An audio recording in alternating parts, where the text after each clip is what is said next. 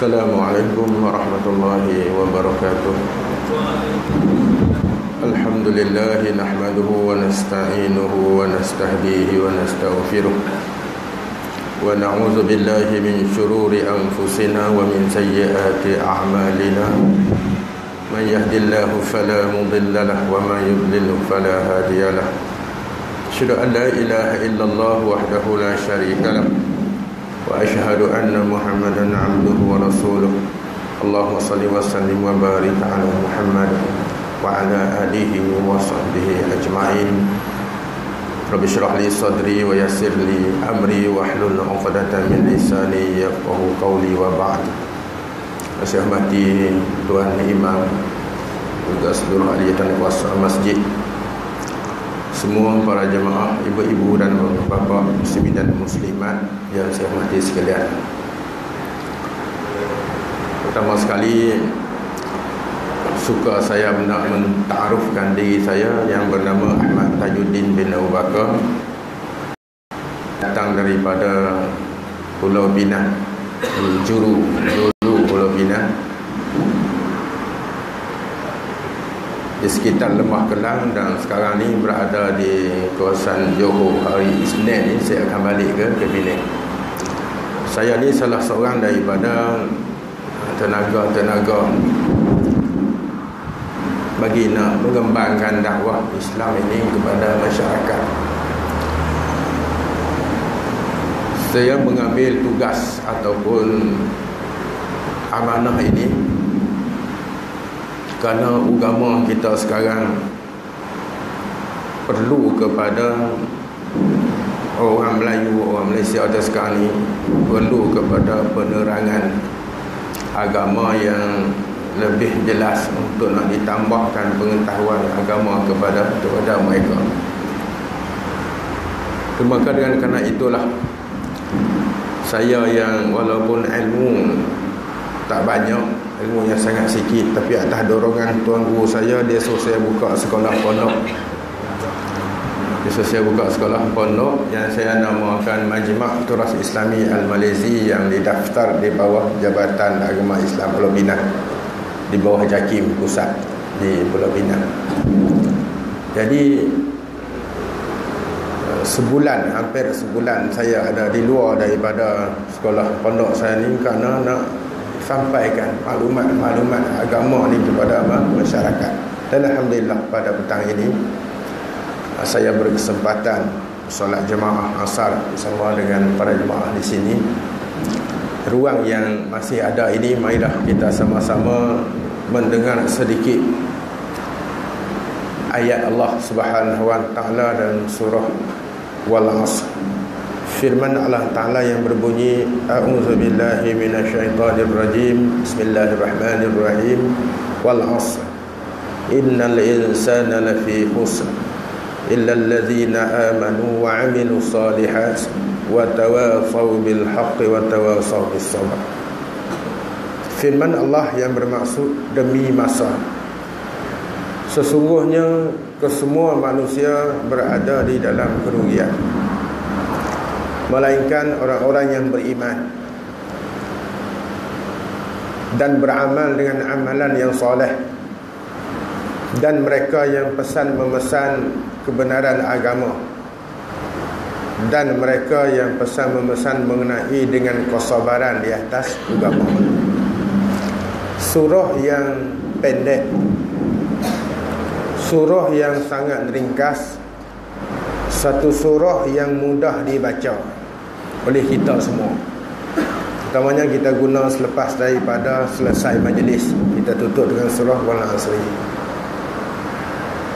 Walaupun surah ni surah yang pendek Mudah dibaca, ringkas Tetapi dia mengandungi makna. Makna yang tersirat di dalam surah ini sangat padat. Sangat-sangat padat. Kerana Imam Syafi'i rahimahullahu ta'ala pernah berkata Lau lam yunzal minal qur'ani siwaha lakafatin nas.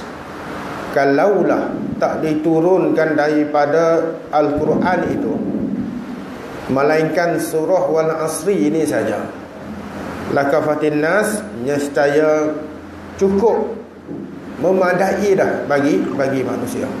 Ini nak cerita kata hebatnya surah wal asri ini.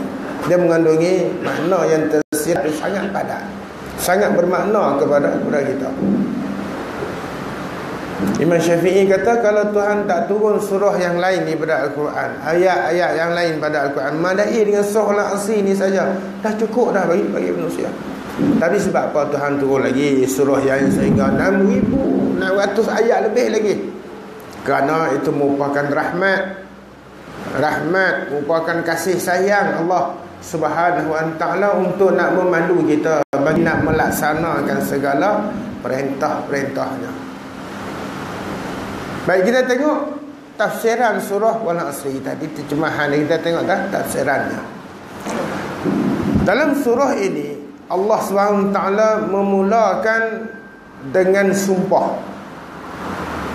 Wal asr waw tu waw bil qasam waw tu digunakan sebagai sumpah Allah. Allah Taala bersumpah. Allah Taala kata wal asri demi masa. Allah bersumpah dengan dengan masa. Ha, tu baca dengan wal asri itu huruf sumpah ni huruf qasam ni dia kena baris di bawah hujung tu. Wal asri wallahi billahi tallahi wattini wazaituni waturisini wa hadzal baladil amin Tu Tuhan sumpah. Ha, tu Tuhan sumpah. Di sini surah ni Tuhan sumpah dengan dengan masa. Pada surah yang lain Allah telah sumpah dengan pokok. Nama-nama pokok watin. Pokok tin demi pokok tin. Wazaitun dan juga zaitun pokok zaitun. Wa turi sinin dan demi bukit turi saina. Tuhan sumpah dengan dengan bukit. Ha, berhak Allah Taala Allah Taala berhak untuk bersumpah dengan menggunakan mana-mana nama-nama makhluk yang dia jadikan. Kita tak berhak.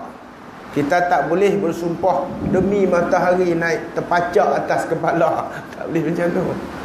Ha, kita tak boleh sumpah macam tu. Ha, demi apa-apa lagi lah. Demi bukit tak, tak boleh. Kita kena sumpah dengan Wallahi wabillahi ataupun watallahi itu nak nak sumpah. Dan kalaulah kita melanggar sumpah ni dia ada kifarat sumpah. Ni dalam hukum perbahasan dalam hukum hukum fiqh.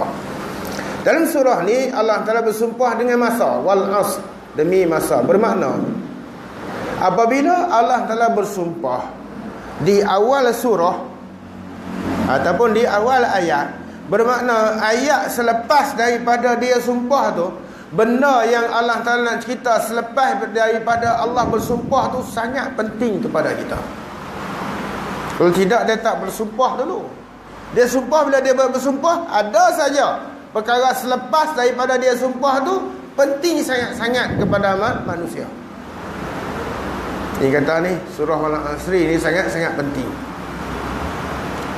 Selepas Tuhan sumpah demi masa. Maksudnya ialah masa ni kadang-kadang kita yang melalui masa. Terkadang masa melalui kita. Kadang-kadang kita yang melalui masa. Daripada tahun ke tahun, tahun ke tahun, tahun ke tahun. Makin kurang daripada tahun turun bulan ke bulan, bulan ke ke bulan. Kurang lagi daripada bulan ke minggu ke ke minggu. Kurang lagi daripada hari ke ke hari, jam ke jam. Minit ke minit, saat ke saat. Akhirnya habislah. Kita akan mati. Kita akan mati. Bila mati kita akan menjadi orang akhirat. Tak jadi orang dunia ni lah. Tak sama dah masa-masa yang ada di hari akhirat di bawah ketentuan Allah taala. Masa yang ada di dunia ni pun di bawah ketentuan Allah juga. Tapi berdasarkan matahari bulan yang Allah Taala jadikan. Kita boleh menentukan masa dengan asbab bulan atau matahari matahari yang Allah Taala jadikan. Akhirat masanya tidak ada hujung. Tidak ada kesudahan umur akhirat. negeri akhirat akhirat sana tak tak binasa dah. Kena itulah Allah Taala sumpah dulu. Allah Taala sumpah wal asri demi masa. Nak cerita kata kita kena ingat. Masa yang kita lalui kadang-kadang. Kita melalui masa kadang-kadang. Masa melalui, melalui kita. Akhirnya perubahan-perubahan demi perubahan kita akan mati. Ha, kita akan, akan mati. Pertama yang kedua demi masa dengan makna kita jangan tak reba dengan ketentuan ataupun masa yang telah ditetapkan oleh Allah Subhanahu Wa Taala. Masa kita kadang-kadang masa kita susah. Jangan kita tak reda dengan ketentuan Allah. Terkadang masa kita senang. Kita sukalah. Atau kita kita senang. Dan kadang-kadang Allah Taala duga kita. Allah Taala datangkan bala kepada kepada kita. Man yuridillahu bihi khairan yusib minhu kata Nabi. Sesiapa yang Allah Ta'ala menghendaki ke atasnya kebajikan, kebaikan berlaku kepadanya. Ada pahala ke kepadanya. Hidup dia tu ada saja apa pahala. Yusib minhu kata Nabi diuji daripadanya. Allah akan ujinya, Allah Taala akan duganya, Allah Taala akan datangkan bala ke kepadanya. Sebab itulah kata Allah. Wal asri kita jangan menghina masa. Ha, yang kadang-kadang datang masa tu dengan ujian daripada Allah. Allah nak beri pahala kepada kita. Bukan Tuhan uji kita. Dengan tujuan Tuhan nak suruh kita jadi lebih jahat. Tidak. Tuhan tak mau kita jadi tak tak baik. Tuhan uji kita untuk kita dapat kebajikan bagi bagi kita. Sebab itulah kita ni jangan menghina. Jangan tak reda dengan ketentuan masa yang terkena kepada kepada kita. Selesai. Wal asri.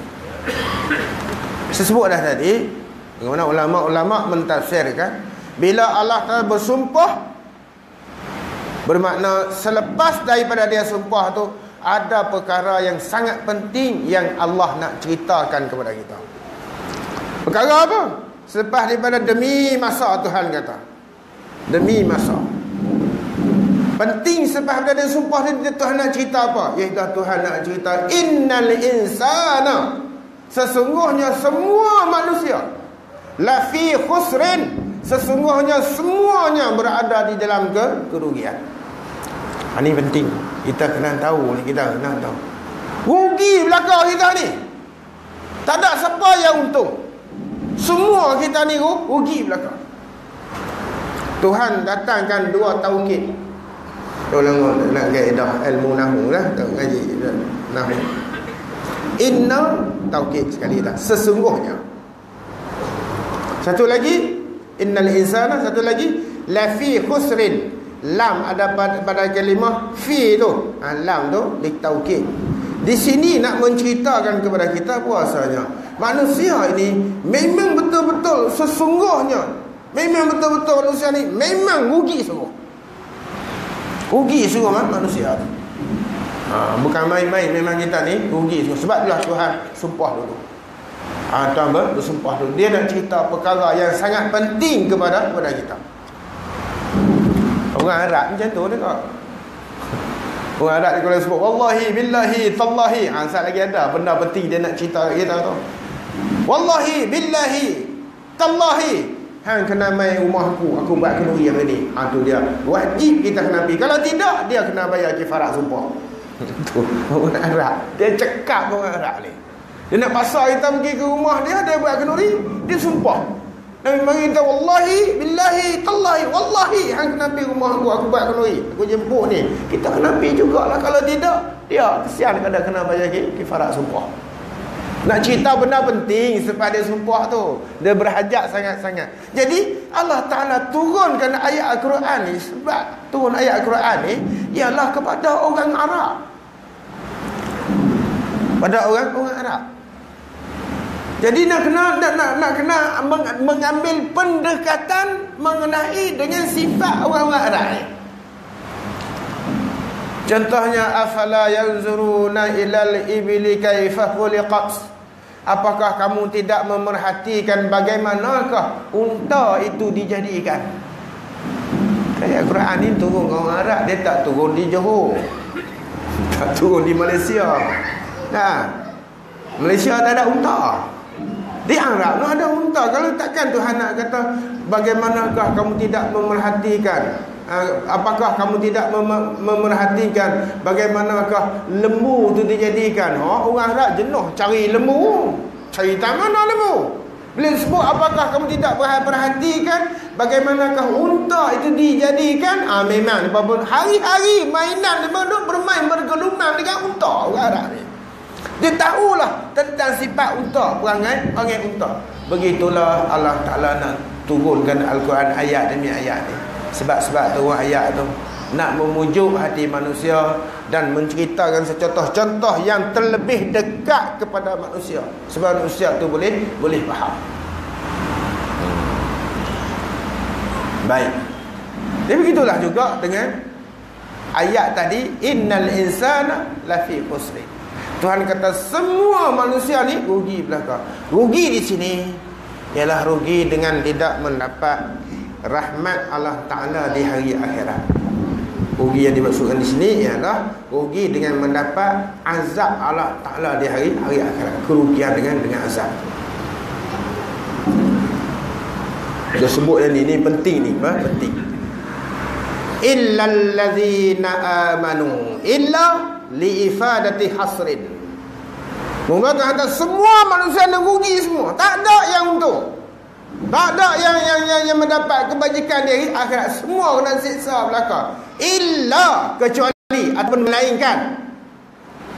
Illa allazina amanu melainkan orang-orang yang beriman. Maksudnya yang tak rugi ialah orang yang beriman. Wa amilu salihat dan mereka yang beramal dengan amalan yang soleh. Dua. Yang ketiga wa tawasau bil haqq mereka yang pesan memesan mengenai kebenaran agama tiga. Yang keempat yang tak ruginya ialah watawasau bisabr. Mereka yang pesan memesan mengenai dengan kesabaran di dalam beragama. Empat golongan ni saja yang tak tak rugi. Nah, ni penting. Tu tahan sumpah dulu. Ha, tuan sumpah surah ni mudah baca ringkas tapi makna dia tu badan. Orang kafir dia rugi di hari hari akhirat. Mereka rugi di hari, hari akhirat. Di dunia ni mereka tak rugi lah.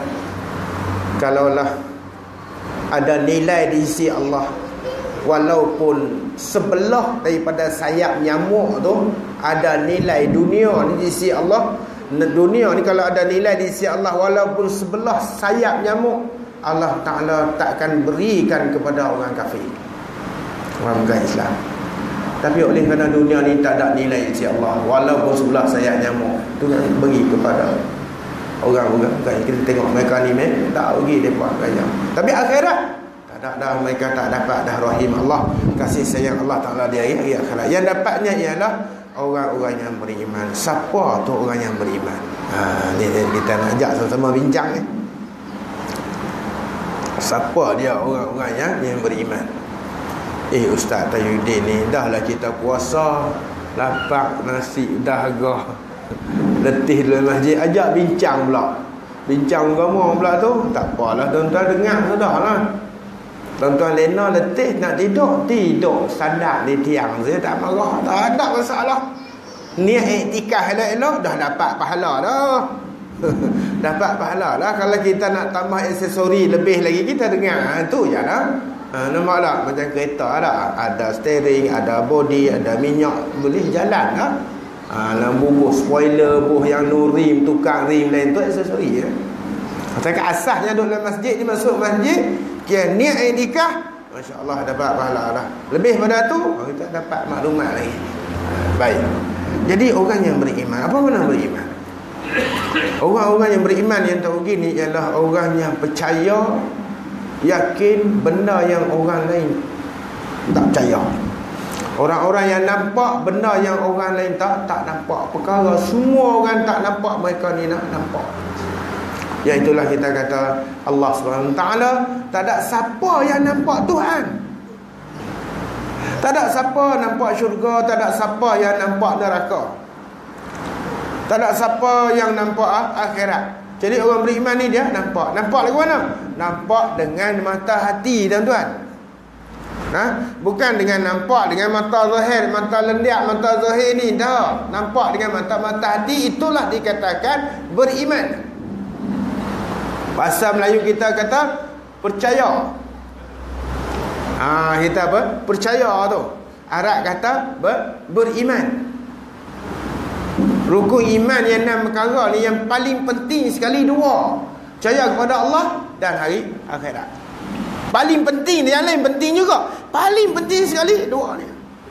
Percaya kepada Allah termasuklah yang menurunkan kitab so kita percaya Allah. Yang mendatangkan Rasul menurunkan mendatangkan percaya pada Rasul tadi ni Allah. Mana? Qada dan qadar daripada Allah. Ana marah. Satu lagi percaya kepada akhirat. Ini paling paling penting. Dia orang yang cerdik, orang yang nampak yang orang lain tak tak nampak. Ini panggil orang yang yang beriman. Itu mana? Mana iman tu? Percaya, yakin. Percaya dan juga mereka ni ya, yakin. Bilal bin Rabah tuan-tuan. Sayyidina Bilal bin bin Rabah seorang negro. Kulit hitam, mata gigi yang putih. Satu hari sahabat-sahabat gurau dengan dia dia kata Bilal kamu ni kami tengok hitam kepala kamu ni bojok macam biji korma hmm, mereka main bergurau lah dengan dia Bung nangis Bilal ni ma? nangis pergi mengadu pada Nabi Ya Rasulullah mereka hina saya. Mereka hina sahabat hina mereka kata apa Rasulullah tanya. Mereka kata kepala saya bojok sebuah dengan biji korma Rasulullah pun terus kata. Rasulullah kata jangan kamu menghina. Sahabat-sahabat aku generasi yang membawa generasi awal Islam yang bawa agama agama Islam. Satu hari Abdullah bin Mas'ud orang sahabat seorang sahabat Nabi yang kecil kerdil dia ni kan kecil rendah badan dia kecil Arab dia badan besar-besar dia ni jenis-jenis jenis-jenis kecil mereka hina dia kata Abdullah sebelah kaki kamu tu sama dengan lengan kami ya. Apa hina dia. Orang mengadu Nabi, Nabi pun bela sahabat-sahabat ni. Sebelah kaki kamu kata kaki dia sebelah kaki dia sama dengan lengan kamu. Kamu tahu tak? Sebelah kaki Abdullah bin Mas'ud ni sama berat dengan bukit bukit Uhud. Dia nak cerita kata beratnya pahala dia tu kaki dia tu. Duk melangkah ke masjid tempat-tempat kebajikan, tempat-tempat perjuangan bersama-sama dengan dengan Nabi si Abdullah bin, bin Mas'ud ni. Nabi bela dia. Baik saya nak sebut pada iman tadi ni. Percaya tu, yakin dan juga apa? Percaya ni. Sehingga Allah Taala buka pintu makrifah kepada Zainab Bilal. Sebab waktu Isra dan Mi'raj Nabi mendengar suara tapak kaki manusia sedang berjalan di dalam syurga. Nah, ini surat merah. Kita ada dengar ceramah surat merah. Dia memang tak yang tu. Jadi Rasulullah tanya, Ya Jibril, siapa yang duduk berjalan dalam syurga tu? Sedangkan tak kiamat lagi. Bila kiamat pun aku dulu kena masuk dalam syurga. Barulah orang lain boleh masuk. Dia duduk berjalan dalam syurga tu. Jibril kata bukan begitu wahai Muhammad. Itu bukan orang tu suara. Suara tapak kaki Bilal bin Rabah. Suara tapak kaki Bilal bin, bin Rabah. Duk berjalan ada dalam syurga tu. Tu kata Tuhan buka pintu makrifah kat dia. Kita nak kena walaupun dia kulit hitam, orang asal hamba tapi Tuhan mulia dia. Esok keesokan pagi Nabi jumpa Bilal. Bilal Apakah amalan yang kamu lakukan? Percaya-percaya dah pada Allah Amalan yang kamu lakukan Sehingga aku mendengar suara tapak kaki kamu Dah berjalan dah dalam syurga Sedangkan kamu belum mati lagi. Duduk di bawah bumi Mekah dia Bilal kata Aku cuma beriman kepada Allah. Beriman tadi. Aku yakin dan aku percaya kepada kepada Allah. Aku melakukan ibadah-ibadah yang yang wajib. Selain daripada itu Aku tidak meninggal Tak pernah meninggalkan Dan keadaan diri aku ni Tidak pernah berada di, di dalam keadaan yang tidak berwudu Mana kata sentiasa dia berada dalam keadaan berwuduk. Bila batal wuduk, batal air sembahyang, dia pergi ambil air sembahyang. Bila batal air sembahyang pula, dia pergi ambil air, air sembahyang. Sentiasa berada dalam keadaan berwuduk. Kita tidak. Kita berwuduk ni ketika nak nak sembahyang je lah. Sembahyang wajib ataupun sembahyang sunat. Ataupun nak baca Al-Quran. Selain daripada tu saja-saja nak mengambil wuduk. Hmm, kita tak buat dah kita. Dia kata tu. Dalam agama ni kita, kita jangan anggap satu, satu benda tu jangan anggap remeh. Pahala Tuhan nak bagi tu. Pahala Tuhan nak, nak bagi kat dia tu tengok sehingga terbuka dah tu. Pintu makrifah tengok Tuhan dah. Dah apa uh, pendengar kepada Nabi suara tak tapak kaki dia jalan dalam dalam syurga. Kita nak kira apa batal wudu air sembahyang. Supaya angkat nikah kan. Kadang-kadang hajur kita batal air sembahyang.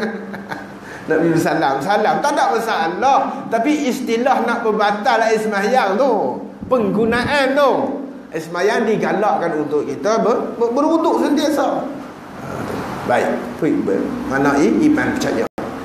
Innal ladzina amanu wa amilu salihat yahdihim rabbuhum biimanihim.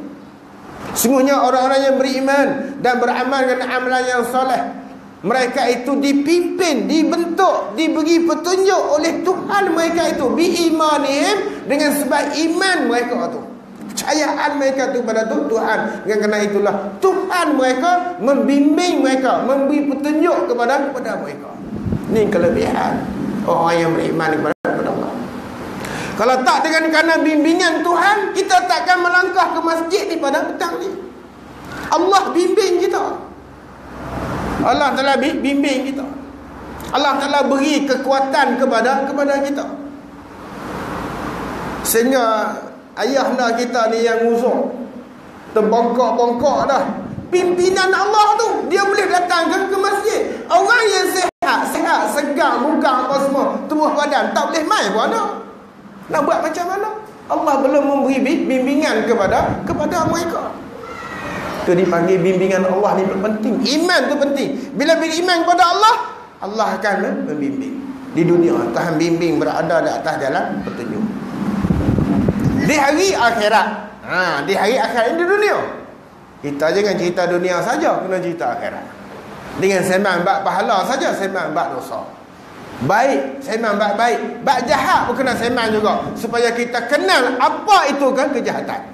Kena ambil tahu Jangan buat dia tak Ambil tahu kejahatan Akhirat Orang yang beriman ni Tajri min tahtihimul anhar Mengalir di bawah Di bawah kediaman Orang yang beriman ini Al-anhar Beberapa anak-anak sungai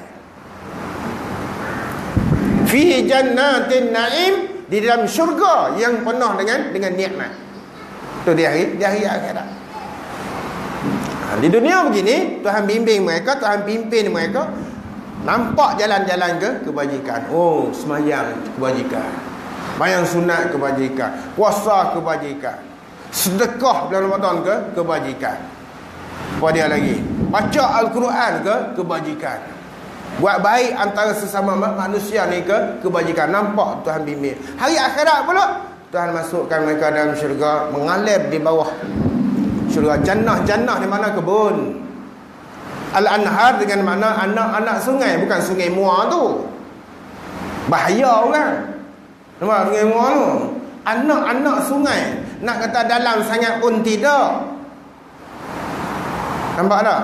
Nak kata tak dalam pun tidak juga. Sedap lah boleh letak kaki dalam. Tak bahaya dia panggil syurga. Sungai dah dalam syurga tu. Ha, bukan sungai besar macam sungai Muar tu komando pun tenggelam dalam tu.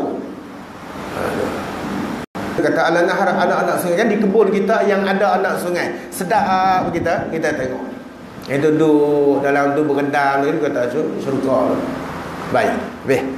Wa amilus solihat. Tak serang mengenai dengan mereka yang yang tak rugi. Yang kedua ialah orang-orang yang beramal dengan amalan yang soleh amalan-amalan yang yang baik. Apa mana amalan yang baik? Senang saja. Kita tanya manusia. Dia tu buat tu baik ke buruk? Hmm. Eh tu tak pakai tu. Ha dia lah tu. tu yang tak baik tu. Kau kata kalau orang tengok dia tanya, ah, dinilai orang nilai tengok oh tu bagus. Ha dia lah tu tu amalan yang baik tu. Kan susah sangat. Eh, kita nak suruh nak bawa medali syarak kebajikan ni banyak sangat. Nak mudahnya kalau lah dinilai oleh manusia ha tu. Ha tu bagus. Kalau kita kadang-kadang kita tersilap sikit lah kita ni Orang tak main masjid tak apa Orang main masjid ni kena jaga Oh yang tak main tak pernah datang langsung tu cerita lain Dia buat biar apa pun Timur Tapi kita orang masjid ni Silap sikit lah Hmm, tengok tu. Ah, dia buat macam tu. Ah, tu kita kena jaga. Kena jaga. Amal beramal dengan amalan yang yang soleh. Yang sunat tak yang tak yang pada yang wajib tak tinggal lah. Ah, yang wajib tak tak tinggal. Yang sunat mereka menambahkan ya yang sunat-sunat. Ini orang yang orang yang soleh. Wa tawasau bil haqq. Mereka yang pesan dengan kebenaran agama. Amalan agama ma syara'ahu Allah ala lisan nabiyhi min al ahkam. Barang yang yang telah mensyariat oleh Allah Taala melalui mulut lidah nabinya daripada segala jenis hukum hukum agama. Jadi manusia pesan-pesan mengenai dengan kebenaran agama. Saya sebut dah awal tadi ni datang ke sini ialah untuk kita nak berdakwah nak pesan-pesan mengenai dengan agama kita. Kita nak kena sentiasa uh, sentiasa tu uh, memperingati sesama sama kita. Sebab agama kita sekarang berada dalam keadaan lemah. Berada dalam keadaan lemah. Akhir-akhir Ramadan ni sepatutnya malam-malam kau penuh penuh penuh penuh terawih. Kita kan makin kurang makin kurang makin kurang. Sedangkan Ramadan syahrul mubarak bulan yang diberkati. Mana berkat? An-numu wa ziyadah. Al-barakatuh hiya wa ziyadah. Berkat ialah mengembang dan juga ber bertambah. Macam ekor tupai tu banyak mengembang ekor tupai. Cantik ekor dia. Ha, tapi kita tidak. Jadikan Ramadan ni seperti mana ekor tikus. Makin kecil, makin mengecut, makin tikus. Akhir sekali, hudung kadang-kadang tu. Bulu satu urat pun tak ada. Mula-mula minggu pertama ramai, minggu kedua kurang, kurang lalas sekali, dua tiga sah saja. Ada agama kita. Kita nak ingatkan balik sebab kita ni agama kita ni dalam keadaan agama tak lemah. Orang tu penganutnya tu lah lemah. Padahal kita datang untuk nak nasihat, nasihat menasihati sama kita. Wa tawassaw bis sabr dan pesan memesan mengenai dengan kesabaran dalam beragama ni penting. Empat perkara ni. Iman, amalan yang soleh, jaga agama dan pertahankan. Hayati usaha hayati sifat kesabaran yang sebenar tu di dalam beragama dengan agama Allah Subhanahu taala. Tak rugi tuan-tuan. Kita dapat memiliki sifat ni golongan empat golongan ni adalah golongan yang tak rugi. Orang kafir ni rugi kerana apa? Mereka tak beriman. Kalau mereka beramal buat baik pun buat kebajikan pun tak dikira pahala. Agama tak ada. Mereka ni dan nak pesan dengan kesabaran sabar mereka. Tak tak tak, tak jadi kebajikan. Tak jadi kebajikan. Kenapa tertegah. Ha, tak tertegah sebab tidak ada syahadah pada diri mereka. Bila kita dah ada syahadah jadi kita sama-sama lah usaha beriman pada Allah beramal dengan amalan yang saleh. Ingat memperingati mengenai agama kita dan juga memperi, sama memperingati mengenai dengan kesabaran berada di atas agama Allah Subhanahu wa taala. Kena sabar banyak-banyak Lau kana aradan qariban wa safaran qasidan lattaba'uka walakin ba'udas alaihim syuqqah. Kalaulah kemenangan Islam yang kau impikan itu wahai Muhammad, satu benda yang hampir dan perjalanan perjalanan yang tak berapa jauh secara semua manusia boleh mengikut kamu. Tetapi kemenangan Islam itu jauh lagi pula ada beberapa apa kepayahan sebab turun ayat di dalam surah taubah ni kerana nak berlaku perang tabuk perang yang terakhir yang Nabi sertai tahun yang ke-9 hijrah. Jarak ulama-ulama kata jarak Madinah dengan tabuk tu di negeri Syria nama tempat sejauh 800 km jauh tuan-tuan. Nak pergi apa? kalau lah benda agama ni mudah perjalanan perjalanan yang dekat orang pakai ikut semua. Tapi yalah kau ni payah, susah. Ha, susah ini kita kena sabar. Ha, kita kena sabar. Kena tetap di diri kita. Iman, beramal juga beramal dengan amalan yang soleh. Kita kena sabar. Usaha tangani segala masalah itu dengan penuh bijak bijaksana. Sebab kita kena faham, agama ni bukan dia datang dalam keadaan mudah, datang dalam keadaan apa? payah. Perang Tabuk dulu ni musim panas. 800 km Nabi pergi. Di negeri Syam negeri Syria. 800 km. Nabi bergerak seekor kuda naik tiga orang. Seekor unta naik dua dua orang. Masya Allah. Saya datang sini bawa barang yang di belakang tu penuh. Kami dua orang je. Tuan-tuan datang pun seorang je. Jadi sahabat Nabi dulu ni pergi perang tabuk tu tiga. Se seekor unta naik dua orang. Seekor unta uh, kuda naik dua dan tiga. Tiga orang. Penuh. Ha, tu kan tu. Agama ni kita kena sabar lah. Ha, kita kena sabar. Bukan senang nak satu-satu perkara kita nak nak berjaya. Tuhan nak tengok dulu kesungguhan kita tu. Ha, ala inna nasral ala in ala inna nasra nasrallahi qarib. Sesungguhnya kemenangan, pertolongan daripada Allah Taala itu qaribun sangat dekat hampir sangat-sangat. Cuma Tuhan belum beri lagi kemenangan kepada kita kerana Tuhan nak tengok tahap kesabaran kita tu setakat setakat mana. Jadi atas dasar itulah tuan dan puan si bapak semua saya usaha dirikan sekolah pondok. Mula di pecah tu program pecah tanah tahun 2008 hingga sekarang ni lah. Ajar ada kurang lebih dalam 80 orang. Kalau masuk tua ada 100 orang. Ha, di pondok kita di, di juru tu. Walau bagaimanapun kita mendapat juga sumbangan daripada kerajaan pusat daripada JAKIM. Ha, JAKIM pusat kita dapat sumbangan dua kali. Bagi sumbangan kali yang pertama bagi 100 ribu. Bulan Ramadan ni bagi 200 ribu. Dan yang dan juga sumbangan daripada sebahagian daripada kerajaan negeri sebahagian daripadanya ada juga. Tapi kebanyakannya satu juta lebih dah. Satu juta lebih saya naikkan bangunan tu bajet dia dan lebih pada satu juta semuanya semangat daripada masjid-masjid dan surau-surau ni. Terutamanya di bulan Ramadan Masya Allah Ramadan ni bulan yang Allah Ta'ala gandakan pahala untuk kita. Bila tunggu ayat man zallazi yuqridullaha qardan hasana fayudha'ifahu lahu ad'afan katsira sesiapa yang memberi hutang kepada Allah dengan hutang yang baik maka Allah akan bayar kepadanya dengan balasan yang berganda-ganda yang sangat banyak. Dengar ayat ni Abu Dahdah Al-Ansari tanya Nabi, "Ya Allah, eh, wahai Nabi, wahai Rasulullah, betulkah Tuhan nak beri hutang kepada kita? Nak berhutang kepada kita?" Nabi kata betul. Betulkah Tuhan akan membayar semula di hari akhirat esok dengan bayaran yang sangat banyak? Nabi kata betul. Kalau begitu, ulurlah tanganmu ya Rasulullah. Nabi pun ulur tangan. Dia pegang tangan Nabi Abu Dahdah pegang tangan Nabi. Dia kata, "Ya Rasulullah, ambillah 600 batang pokok kurma saya. Bagi tu tanah dia tu. Lebih kurang dalam 10 ekar apa. Kelapa sawit kita. Ambillah, berilah kepada Allah hutang untuk untuk Allah. Aku yakin Allah akan membayarnya di hari akhirat nanti dengan gandaan pahala yang sangat yang sangat banyak. Jadi sistem wakaf yang saya buat Tuan-tuan pun dah faham dah.